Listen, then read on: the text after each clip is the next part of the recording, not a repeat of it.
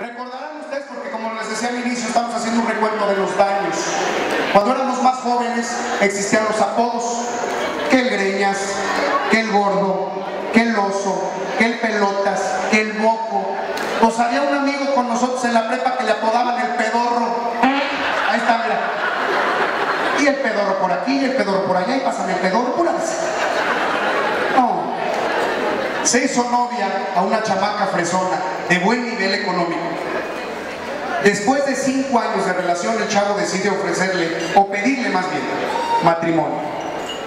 Llega con la chava y dice, oye mi amor, después de estos años que llevamos de relación, quisiera pedirte, si tú así lo decides, pues que uniéramos nuestras vidas.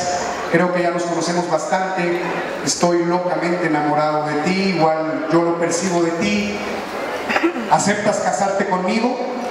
Y la chava así de, qué oso, güey. O sea, ¿casarme contigo, pedorro?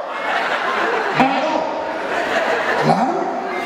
Nos llevamos bien, nunca hemos tenido problemas, creo que ya es tiempo de casarnos. ¿Sabes qué? Déjalo consulto con la almohada, ¿no? Y mañana a la hora del receso lo comentamos, ¿te late? Está bien. Se fueron cada quien a su casa. Al día siguiente, en, la noche, el pedorro se la pasó toda la noche. Piense y piense qué le iba a decir. Al día siguiente llegó hasta con ojeras. Mi amor, mi amor, ya es el receso. Dime si aceptas casarte conmigo. O sea, la neta, güey, no. ¿Por qué? ¿Cómo que por qué, güey? O sea, imagínate una corcuera, una ribadeneira casada con el pedorro. Nunca jamás, güey. O sea, me tapo un ojo, me tapo el otro y nada que ver. Me tapo una bubí, me tapo la otra y no mames. Claro que no, güey. Oye, pero todos estos años entonces perdidos, no. No me caso contigo, pedorro. Está bien. Algún día me voy a vengar de ti. Y lo vas a pagar, ¿oíste? Muy caro. Y se va.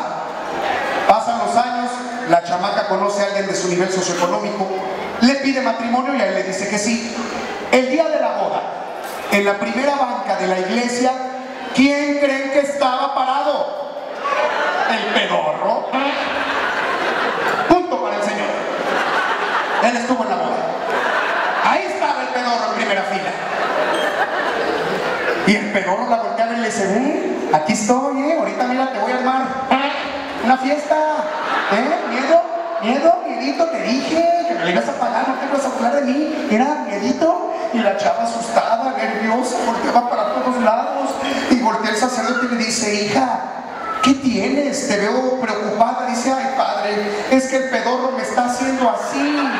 Dice, pues cómo no, hija, si te vas a casar.